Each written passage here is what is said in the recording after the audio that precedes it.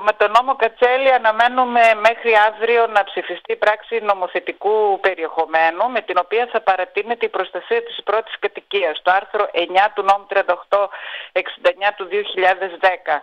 Ο νόμος Κατσέλη σαν συνολικό νομοθέτημα δεν λύγει μετά τις 31 Δεκάτου. Αυτό το οποίο θα το οποίο λύγει και το οποίο περιμένουμε την παράταση είναι μόνο η προστασία της πρώτης κατοικίας.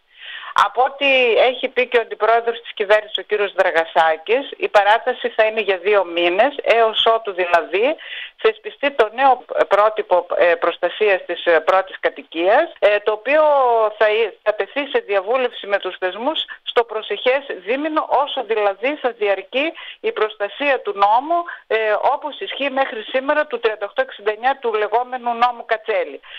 Μετά περιμένουμε καινούριο θεσμικό πλαίσιο για την προστασία της πρώτης κατοικίας.